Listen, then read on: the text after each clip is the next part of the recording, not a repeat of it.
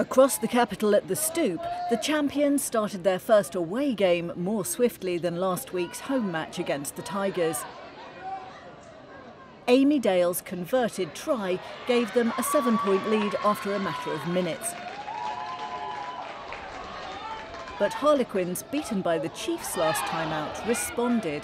After an Emma Cromack penalty, Freya Orkin ensured they had a narrow advantage going into the break.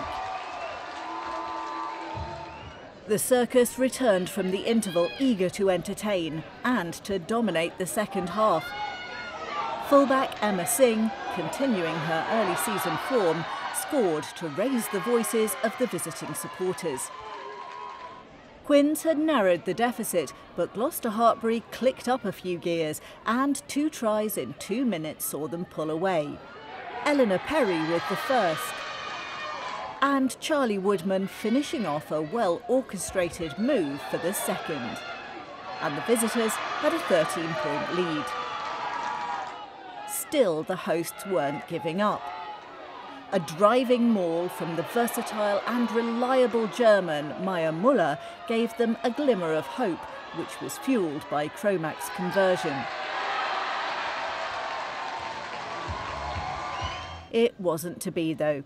Sing's late penalty meant the final score was Harlequins 18, Gloucester Hartpury 27.